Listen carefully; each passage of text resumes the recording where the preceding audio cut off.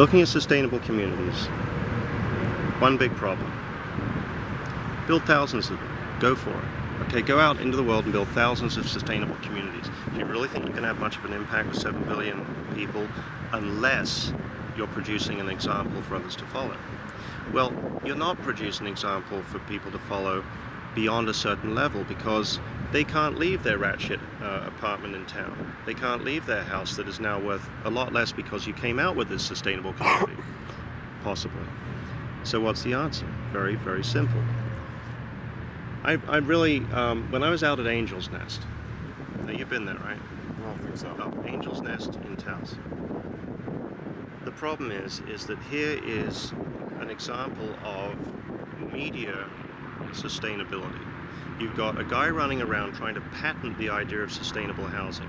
He's taken sustainable concepts and modified them in ways that say, okay, you've designed a passive solar that's supposed to space the sun, and you change its direction because you don't like the view, and still build the same design. Hmm. That doesn't make sense.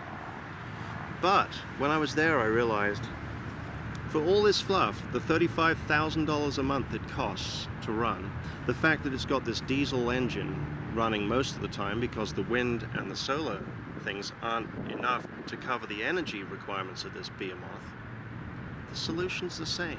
I don't care whether you live in that pig or you live in a more sustainable house that you can buy right in any any old neighborhood because it uses less energy.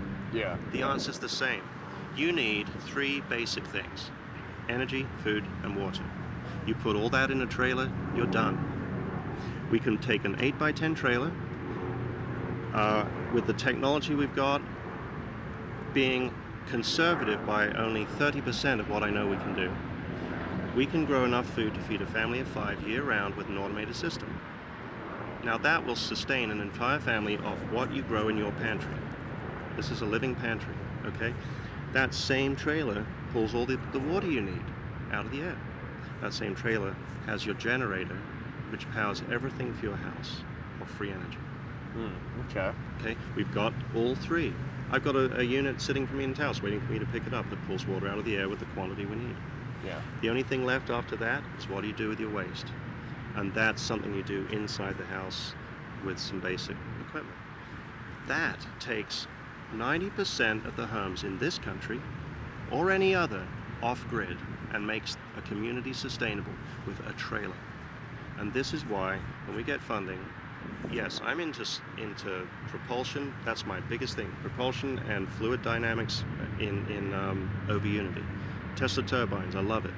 But my first priority is to get these trailers built and the technologies that surround them. This, this same approach leads you to uh, cups that, are, that will deliver a, a gallon of water a day out of any desert climate. So you've got a cup that's always full. That's what you need in, for refugees. That's what you need in, around the world because we're about to enter a water short, shortage for no reason. It's going to lead to the ability to drop a bag this big that when it lands, it turns on and starts immediately producing food in an enclosed space so that you have a place wherever that was dropped where you, you now have shelter, food, water. Yeah. All these things can be done with a fraction of the amount of effort put into standard relief programs, standard sustainable community approaches, standard um, disaster relief programs. All these technologies simplify that concept so far because of only one thing. You stepped out of the oil game and you said, here's a, an energy gen generator and this is all you need.